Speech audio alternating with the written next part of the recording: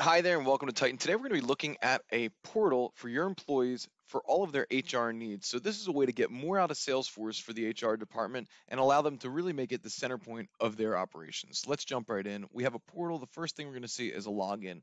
Once we click continue, we're going to get a two-factor authentication code to our email so that we can log into the portal and we don't have to manage any other passwords. Everything you're seeing here is built on Titan with only drag and drop tools, no coding necessary whatsoever. Everything that you're seeing here is coming directly from Salesforce. So these are the requests that the employees made to the organization, to the HR department, for IT equipment, for vacation days, and so on. And all of the important information that they need for their job can be inside of this portal and can be updated on the back end in Salesforce. Here is their details. If they need to update personal details, they can do that right from within the portal with one click and just filling things out. If they want to go into their actual requests and see the different requests that they've made to the organization, they can do that.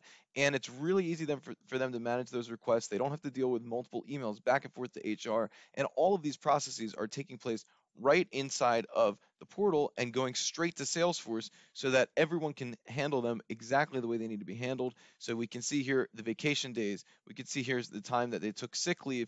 And you can really have a place for your employees to come in to feel like they own the information that you have on them, that they own their requests, and of course, streamline the processes that you're doing in your organization to make your employees' lives better and also the lives of your HR employees.